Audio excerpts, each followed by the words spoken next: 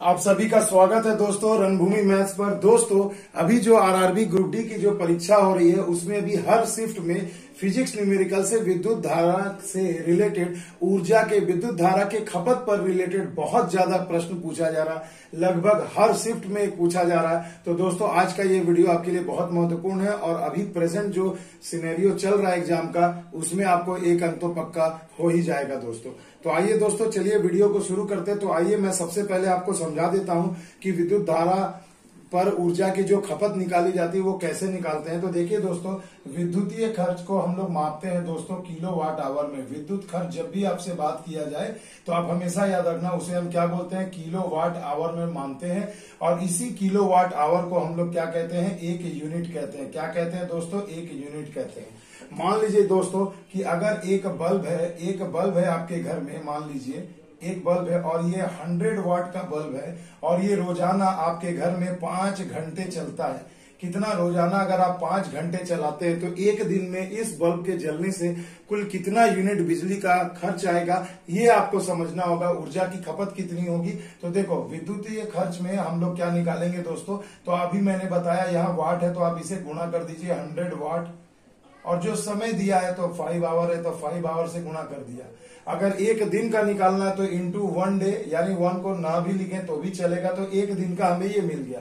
तो क्या आया भाई गुणा करके सौ गुणे पाँच यानी कि मिल गया हमें पाँच सौ। और ये क्या निकला मेरे बच्चों? वाट आवर निकला। है ना? वाट आवर मगर देखिए, विद्युतीय खर्च का जो इकाई होता है वो किसमें होता? है किलो वाट आवर में। यानी मेरे बच्चों, इसे आपको किलो वाट आवर में बदलना होगा। तो किलो वाट आवर में बदलने के लिए हम क्या करेंगे? वाट आवर को हज़ार से डिवाइड कर देंगे। तो यही हो जाएगा आपका किलो वाट आवर आ गई बात समझ में? अब देखो ये क्या हो जाएगा? ज़ीरो ज़ीरो कैंसल है ना? पाँच दूनी दस, यानी एक बटा दो, यानी दशमलव पाँच, यानी ज़ीरो दशमलव पाँच, यही हो जाएगा किलो वाट आवर, और शॉर्ट में इसी को हम बोलते हैं ज़ीरो पॉइंट फाइव यूनिट। यही हो गया आपका इकाई यूनिट। तो ये बहुत महत्वपूर्ण चीज़ है मेरे बच्चों, ये आप सभी को जानना चाहिए, इसे अच्छे से समझ लीजिए। इतना से तो कंसेप्ट क्लियर हो ही गया होगा कि कुछ भी दिया रहे, भैया आपको किलो वाट आवर में बदलना है। तो वाट आवर में सभी रहेंगे, हज़ार से आपको नीचे यहाँ डिवाइड करना ही पड़ेगा तो ये किलो वाट आवर में बदल जाएगा। और किलो वाट आवर का मतलब ही होता है एक यूनिट आगे बात समझ में, जैसा कि समझाया गया था। तो आइए परीक्षा में आए हुए कुछ दो चार प्रश्न कर लेते हैं, ताकि आपको कॉन्फिडेंस हो जाए, और परीक्षा में आप एक नंबर ज़रूर हासिल कर पाए। तो देखिए दोस्तों, जैसा कि पहला क्वेश्चन बिल्कुल आपके स्क्रीन पर सामने प्रस्तुत है। दोस्तों, देखिए, कहा गया कि 1500 वाट के हीटर द्वारा चार घंटे तक चलने में खर्च की गई ऊर्जा कितनी होगी? तो ऊर्जा कितनी होगी? ऑप्शन में देखिए यूनिट में आंसर पूछा गया है। तो यूनिट का मतलब यानी दोस्तों, आपको पहले किलो वाट आवर में इसे निकालना पड़ेगा। तो अब देखिए दोस्तों, इसे हम क्या करेंगे? सिंपल सी चीज़ है। देखिए, हमें दे दिया गया है 1500 वाट। चलिए भैया, हमने यहाँ लिख दिया। उसके बाद ये कितना घंटा चल रहा है प्रतिदिन? तो चार घंटा चल रहा है। देखो, चार घंटा आवर हमने लिख दिया।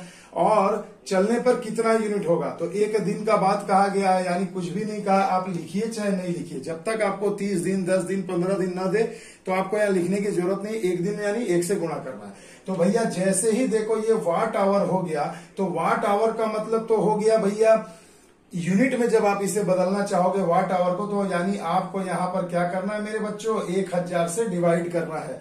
तब ये वाट आवर आपका किसमें बदल जाएगा मेरे बच्चों? ये वाट आवर आपका बदल जाएगा, फिर आपका किलो वाट आवर में। तो देखो, हमने इसे रब करके भी आपको समझा दिया। पहले वाट आवर लिखना है और देखना हज़ार से जब डिवाइड करोगे तो के डब्ल्यू एच हो जाएगा किलो वाट आवर। अब सिंपल बस अब आप इसे कटा दीजिए। तो कितना हो गया? दो दुनी चार, दो पंचे दस, पाँच दिया पंद्रह, तीन दुना छह।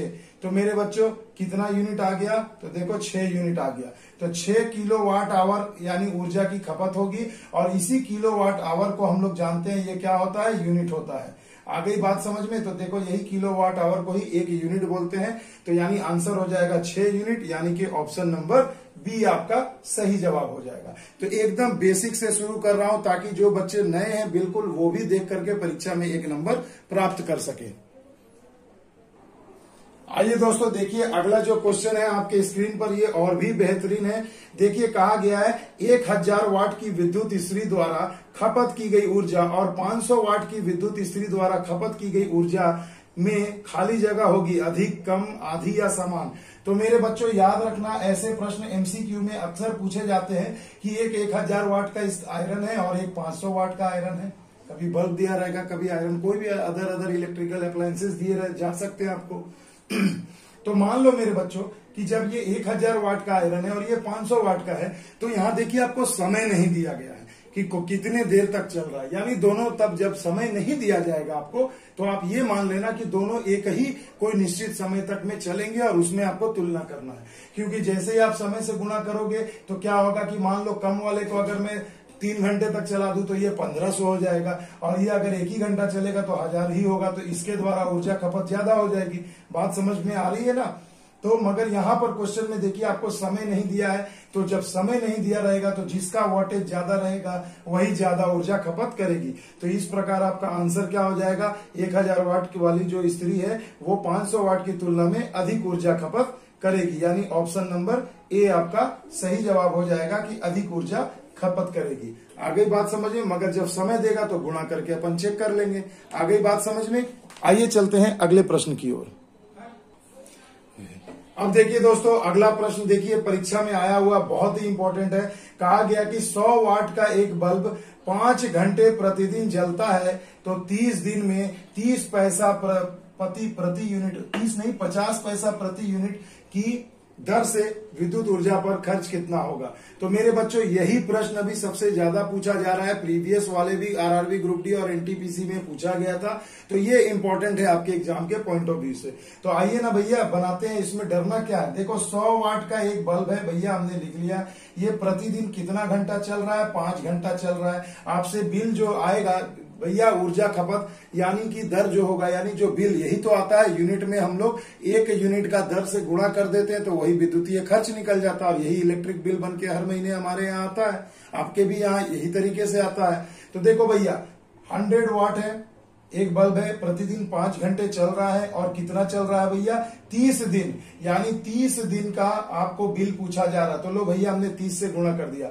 यानी इतना वाट आवर आपका तीस दिन में जनरेट करेगा। खपत होगी। माफ़ कीजिएगा जनरेट नहीं, खपत की जाएगी। और अगर मैं इसे एक हज़ार से डिवाइड कर दूँ तो देखो, तब हम यहाँ क्या करेंगे भैया? वाट को मिटा देंगे, घंटा को मिटा देंगे, और यहाँ पर तब हम क्या लिख देंगे? किलो वाट आवर लिख देंगे। आगे बात समझ में हज़ार से गुणा कर दिया। अब देखो ज़ीरो ज़ीरो कैंसिल हो गए भैया। ये ज़ीरो कैंसिल हो गया। कितना आ गया? पाँच दिया, पंद्रह। तो 15 किलो वाट आवर आपका एक महीने में विद्युतीय ऊर्जा की खपत होगी। अब इसी 15 watt hour, kilo watt hour को हम 15 यूनिट कह सकते हैं ना मेरे बच्चों? 15 यूनिट कहेंगे। अब देखो, एक यूनिट का आपको रेट कितना दिया है भैया? साढ़े सात रुपया। तो एक, सॉरी, माफ़ कीजिएगा, साढ़े सात तो ऑप्शन है। एक यूनिट का दाम दिया आपको पचास पैसा प्रति यूनिट। तो भैया, एक यूनिट का दाम आपको कहा गया है पचास पैसा। है ना? पचास पैसे।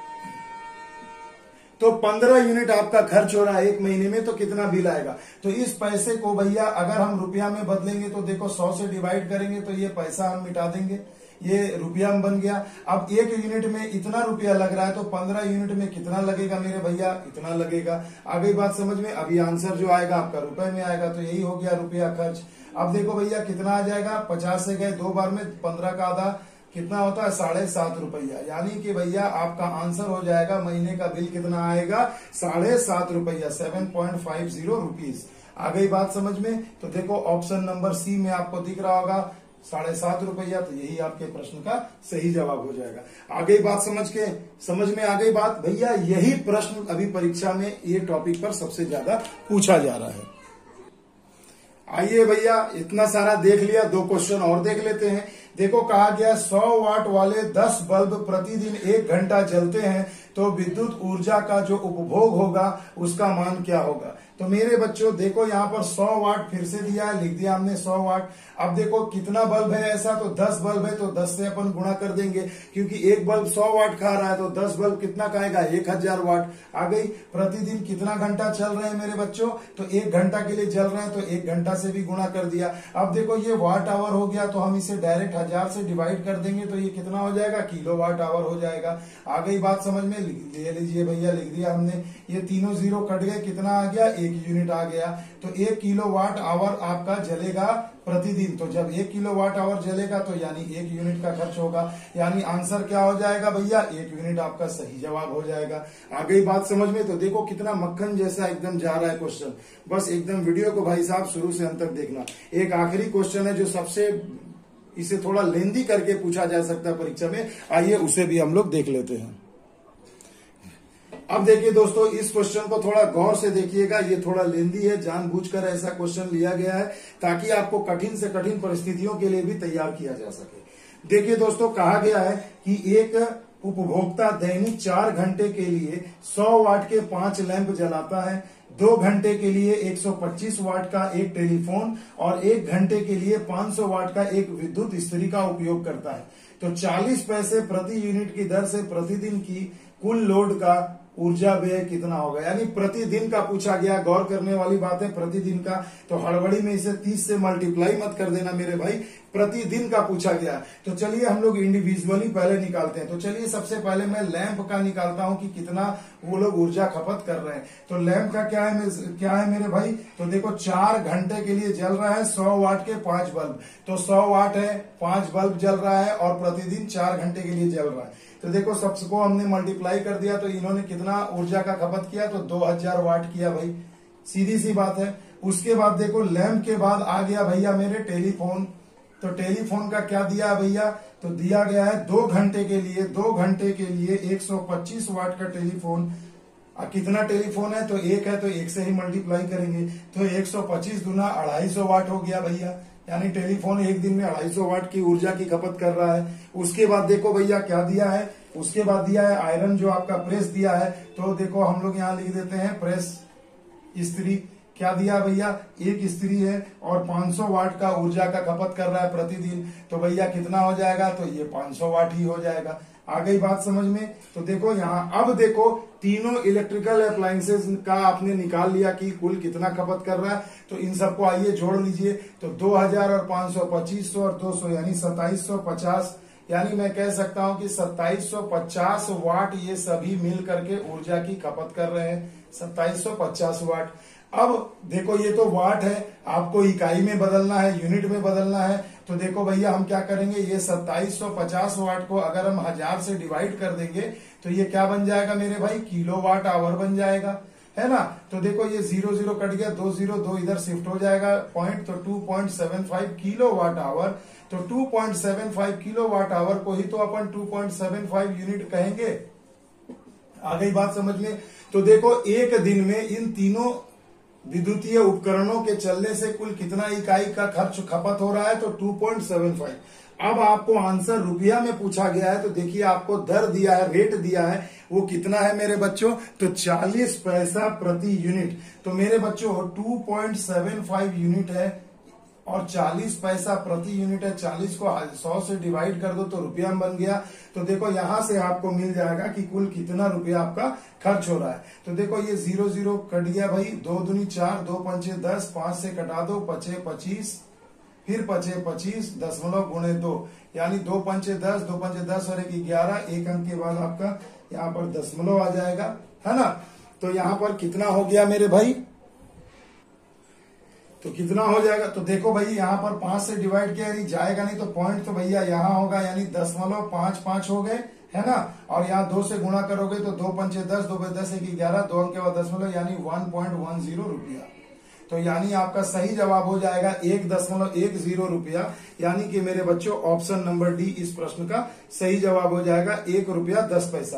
तो भाई साहब, देखो कितनी आसानी से बना लिया। तो ये जानबूझकर ये लेंदी क्वेश्चन पकड़ा गया था, क्योंकि पिछले बार देखा गया है कि थोड़ा इलेक्ट्रिकल अप्लायसेस बढ़ा करके दे दिया जा रहा था कि तीन चार आपको उपकरण दे दे ताकि बच्चों का टाइम किल हो। तो भैया, चुटकियों में अब तो भरबली सीख गए हो तो भरबली निकाल करके जोड़ के हज़ार से डिवाइड करना रेट से गुणा कर देना, चुटकियों में एक नंबर आ गया और भीड़ से अलग हो जाओगे, इसकी तो गारंटी है। तो चलिए दोस्तों, अगर ये वीडियो आपको अच्छा लगे तो कमेंट सेक्शन में ज़रूर बताइएगा। ज़्यादा से ज़्यादा लोगों तक शेयर कर दीजिए, ताकि सभी को फ़ायदा हो सके। मिलते हैं अगले वीडियो में, तब तक के लिए दोस्तों, जय हिंद, जय भारत।